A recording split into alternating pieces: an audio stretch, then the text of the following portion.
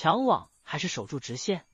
双打比赛中，你在网前的时候，如何判断对方底线球员是打直线还是斜线，从而决定是否抢网呢？让我们先来看一下视频。视频里的底线球员打了一个非常漂亮的直线穿越。有一个很重要的概念：内场底线击球和外场底线击球。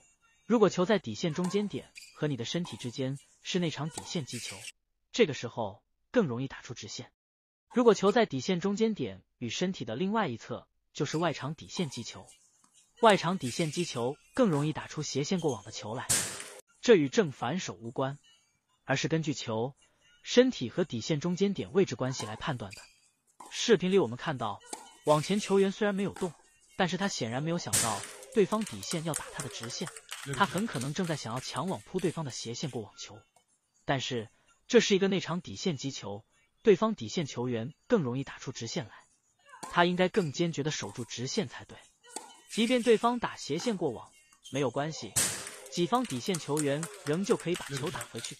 根据内场底线击球和外场底线击球的原则来判断对方击球方向，对于业余球友来说，尤其是三点五以下的球友来说。